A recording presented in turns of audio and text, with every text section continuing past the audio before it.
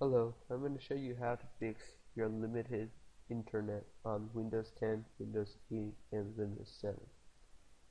First thing you're going to do on Windows 10 is come here to the search bar and type in Device Manager.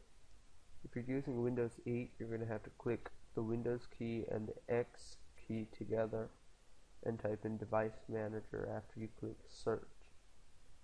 On Windows 7, you're going to just come to the Start button and type in the search box device manager.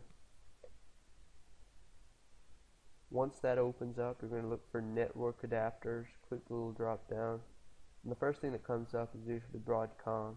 Right click on that and click update driver software.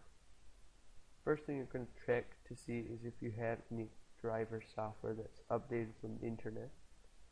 In this case, I just installed something. Usually nothing installed.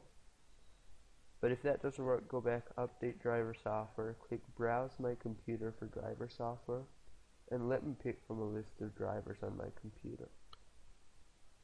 So the first one is already highlighted, that means that's the one in use. So you want to switch over to the other one.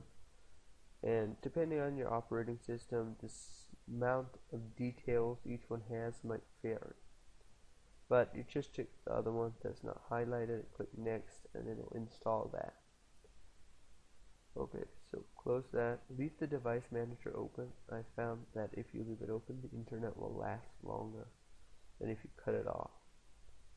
So then that usually cuts off your internet connection. So go back here and connect to it.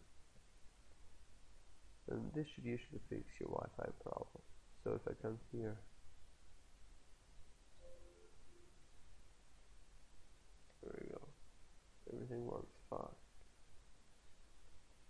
Oh, okay. Thanks for watching. Hope this helps.